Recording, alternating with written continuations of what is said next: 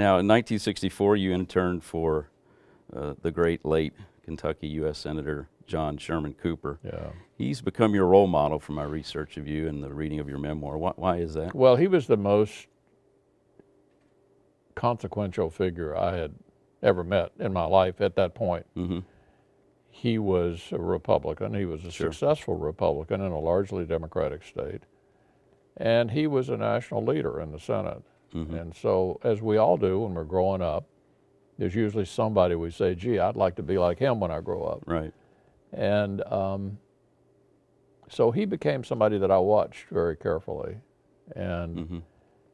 it was with great uh, irony that 20 years after that experience, as I mentioned earlier, I was sworn into the Senate myself. Senator Cooper was still alive. Okay. He had retired.